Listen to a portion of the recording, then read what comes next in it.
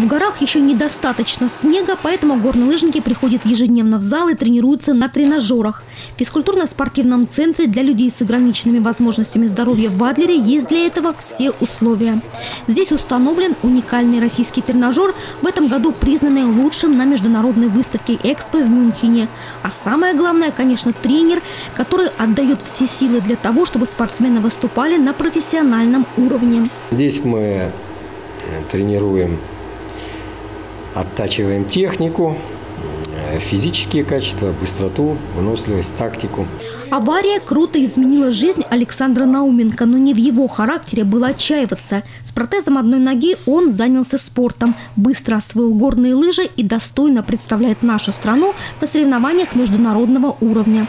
В систему подготовки входят различные занятия, в том числе и выполнение акробатических нагрузок, пешие прогулки, роликовые коньки, велосипед – Впервые снег в горах Александр увидел три года назад, влюбился в Красную Поляну и теперь в его планах заняться еще одним олимпийским видом спорта – сноубордингом. Осталось только поменять лыжи на сноуборд. Ну еще замена не полностью произошла.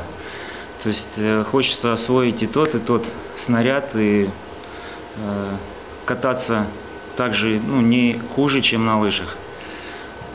Нравится скорость, нравятся экстремальные виды спорта. Ну, это, во-первых, отличное настроение, хорошее состояние. А, опять-таки, ты находишься на природе.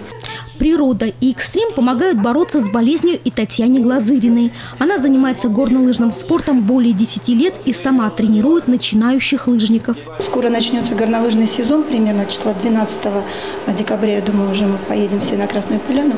Э, поэтому желательно ну, быть в хорошей форме спортивной. И сегодня такие нагрузки для организма, они крайне нужны. Занимаются спортсмены, не щадя себя. Здесь тоже есть взлеты и падения, но больше желания выйти в спортивные лидеры. Сомнений нет, у них все получится. А мы будем верить и надеяться, что еще пожмем им руки. Впереди много чемпионатов мира и Европы, а через 4 года Паралимпиада в Корее. Елена Овсецна, Михаил Дубинин, телекомпания «ФКТ».